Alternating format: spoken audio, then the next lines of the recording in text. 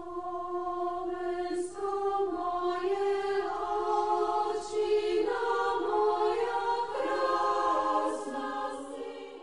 Vilo objavil a navrhol výlet do zaujímavej destinácie Hybická tiesňava. Je to málo známa oblasť, nie je tam ani turistický značkový chodník, obyčajne sa tam chodí z východnej. No ale železnice Slovenskej republiky tam zmenili plán, rýchlik meškal, takže sme museli ísť z Liptovského Mikuláša autobusom do Hybe. A tam sme začali svoju túru. Nedá mi spomenúť si na slovenskú filmovú klasiku. Hybe, hybe, podľahlo si vlastnej chybe. V katastri máš diálnicu a zrušili ti železničnú stanicu. Odkiaľ chodili murári na múračky do Maďarska, ako to bolo vo filme Tisícročná včela. Išli sme po modrej cyklotrase, od bočku k ústiu, tiež sami sme nenašli, však to bola značková trasa. Tak sme prišli až na horný koniec Tiesnavy a tam, hurá, cez územie európskeho významu, čiže po našom zarastenej lúke, sme začali zostup do Tiesnavy. Takže dolinou potoka Hybica bola to čistá príroda, žiadne lávky, stúpačky, mostíky, proste divočina.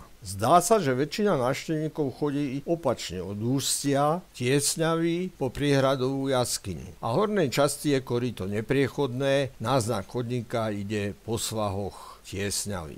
A tu sa divočinou trepeme ďalej. Vilo hľadá cestu. Takže tadiaľ cesta nevedie. Tadiaľ tiež nie.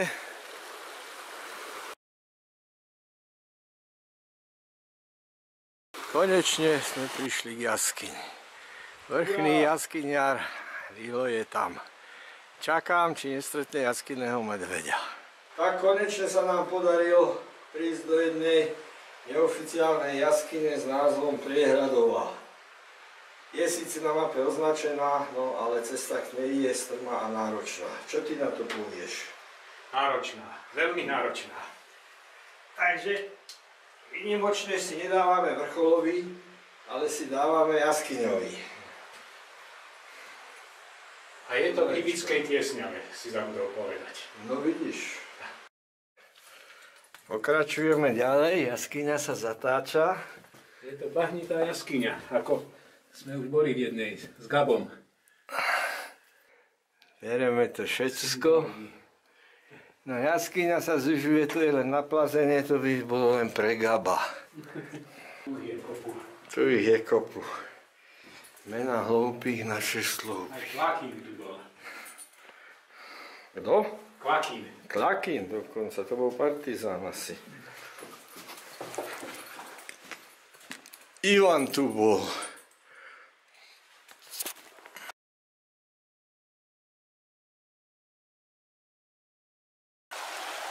Pokus číslo 2 o prekonanie najväčšieho brodu.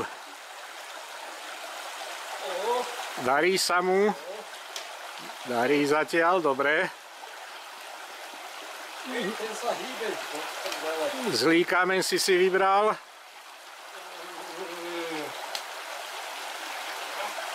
No.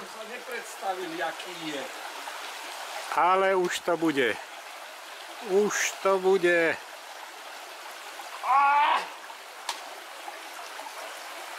Ťažký povzdych a posledný záber.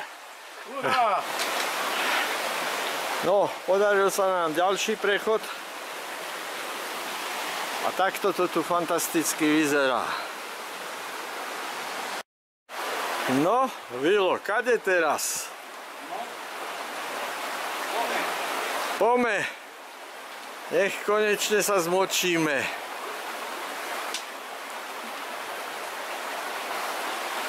Perfektne to zvládza za pomoci paličiek. Takže mám sa na čo tešiť. Je to frajer.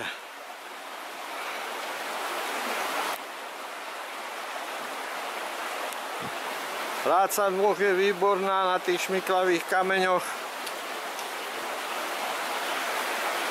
A už, už sa blíži do finále. Paráda, prešiel. No a čo ja? Je to posledný úsek, škoda sa zmočiť.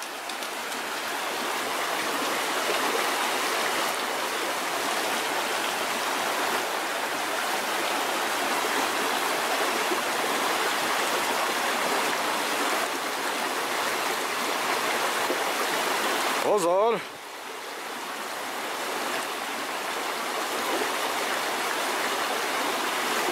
A teraz